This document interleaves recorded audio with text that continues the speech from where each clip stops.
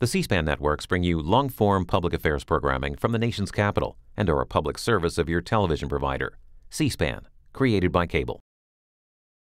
Evan McMullin is an independent presidential candidate. Mindy Finn is a vice presidential candidate, both joining us from Salt Lake City. Thank you very much for being with us.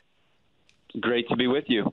Evan Thank you. Let me begin with you by the numbers. How many states are you on the ballot, and how many do you qualify for write in votes, and how do you try to get to 270 electoral votes?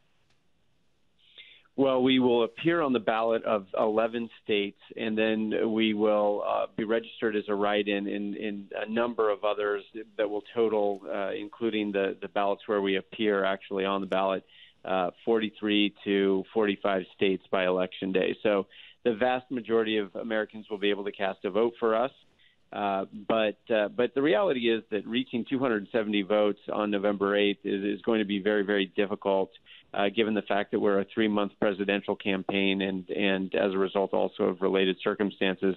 Uh, but our strategy is different. We're, that is not actually our strategy. Our strategy is to win as many states as we can in, in hopes that if the election is close between Hillary Clinton and Donald Trump, we could block them both and prevent them also from gaining a majority in the Electoral College, that 270 vote threshold. And then in that case, the election would go to the House of Representatives, where we like our chances. Mindy Finn, one of those states, Utah, where you are today, and it has not voted for a Democrat since 1964. And yet, with Governor Mike Pence campaigning there today as part of the Trump Pence ticket, it's very much in play. Why? Well, Utah is a conservative state, and Donald Trump is, is no conservative. Throughout his entire adult life, he was liberal on abortion, on health care, on the Second Amendment.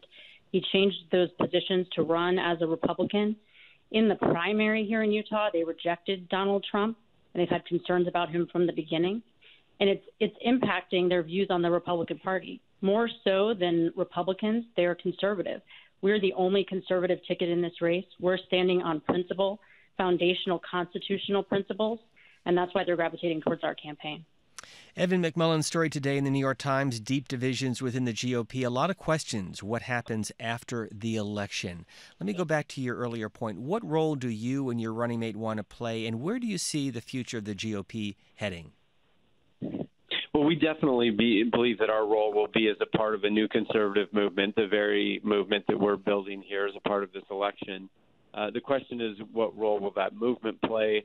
Uh, we do leave some possibility. We believe that the, the, Republican Party may reform after this election, but having both uh, had direct experience with that effort uh, from within the party, uh, we know how difficult it is and, and, believe that these are challenges that the party will face uh, on a generational basis. So uh, it's very difficult to imagine that the Republican Party will be able to shake off Trumpism uh, after this election. These problems existed before Trump entered the race.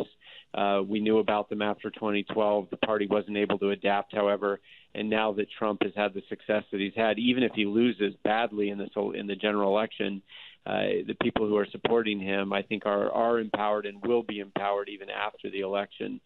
So the reality is is that uh, we believe this conservative movement may need to take the form of a new political party. Uh, it's just uh, simply true that those of us who are constitutional conservatives who believe that all men and women are created equal and that we all have inalienable rights to life, liberty, and the pursuit of happiness, and that government should be limited and that it only derives power from the people and from no other source. Those of us who at a fundamental believe these things can in no way support a party that goes down the, the road of populism and, and white nationalism, which is where Donald Trump would like to take it. So, if that's what the Republican Party is going to be, there's just no way that Mindy and I can be a part of that. And and we have millions of people across the country supporting us, uh, many of whom feel the same way. So let me be clear: Are you saying that we could see a new political party, the Republican Party divided basically in half, the creation of a new party? Yes, I, I think that is very much a possibility. And let me go back to this idea of Trumpism, Mindy Finn, because it's not only Donald Trump, but 13 million voters in the primaries supporting him. He beat out 17 candidates. And so there is a base within the GOP where the Trump message has resonated. What do you say to those voters? Well, I say that you know I, their frustration, some of it is is founded. well founded in that they have been left behind. Uh, we have an economy that's been transformed because of technology and due to automation. Many of them have lost their jobs or they're facing wage stagnation. The party for too long has been more focused on those who write the big checks and not the base, the people who are voting for them. So that frustration is very real. However, Donald Trump, while maybe a very loud, bombastic voice, is one that is really just is kind of using them for his own political power. He's been a liberal for all of his adult life. And more so than that, he's tearing the country apart and undermining our democracy by demeaning Hispanics, African Americans, women, people with disabilities.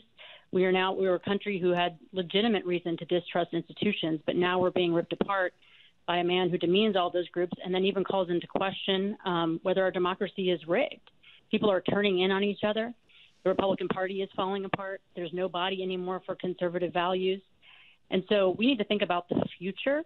And that's what we represent is this new generation of leadership who understands the concerns of those same voters that gravitated towards Donald Trump, who liked the fact that he talked directly and plainly and, and to them but but we have a positive vision and one that can unite the country, not one that's going to tear us apart. And finally, Evan McMullin, what will the headline be the day after the election? Who wins the presidency? Who wins the House and the Senate? Hmm. Well, you're asking me to do something that's very difficult, of course. I, you know, I, I believe that the polls probably reflect uh, the accurate uh, state of the race and that Hillary Clinton is dominating Donald Trump very strongly. Uh, I would expect, sadly, her to win and be our next president. Um, but you know, whether it's her or Donald Trump, I think they're both people who want to grow the size of government and who don't respect our Constitution in the way that Mindy and I believe it should be. And so that's what I think the outcome will be at the presidential level. Uh, I believe that uh, Republicans will likely hold on to the House, and the Senate is is that's uh, less certain, uh, and I, I just don't know. It's hard to predict, but I think Donald Trump is is definitely making it much more difficult for Republicans to hold on to the Senate and to, for them to hold on to the margin that they have had in the House for the last couple of years.